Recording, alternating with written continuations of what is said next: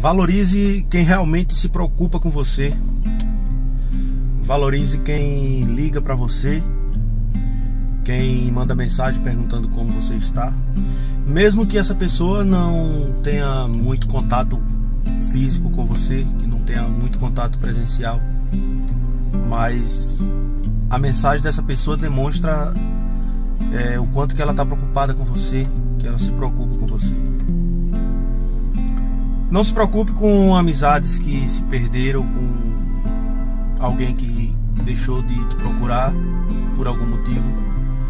Não pense que é você que está errado por isso, porque você se conhece e você sabe do seu próprio da sua própria índole.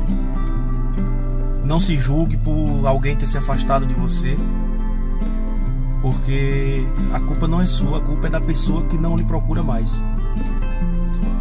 Não se preocupe com amizades com amizades ruins, com amizades de interesse.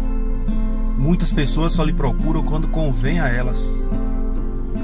Às vezes quando você está mais precisando, quando você mais precisa daquela pessoa, aquela pessoa não lhe procura. Valorize sua família, valorize quem está com você todos os dias, valorize sua esposa, que é quem faz as coisas para você, toda hora, todos os dias. É, valorize seu pai, valorize sua mãe, que é quem realmente se preocupa com você, valorize seus irmãos. E alguns amigos que eu sei que cada um tem seu amigo que você guarda dentro do peito, não, não importa a circunstância. As pessoas são muito interesseiras. Só procuram a gente quando está precisando ou quando convém a elas. Tá ok?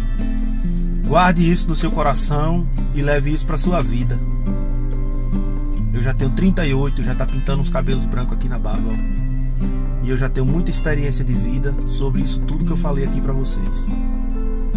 Já fui muito rodeado de amigos, porque a amizade era conveniente para eles.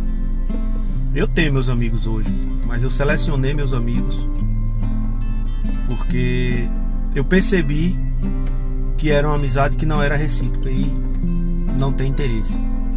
Tá bom, gente? Obrigado, abraço do Wesley Queiroz.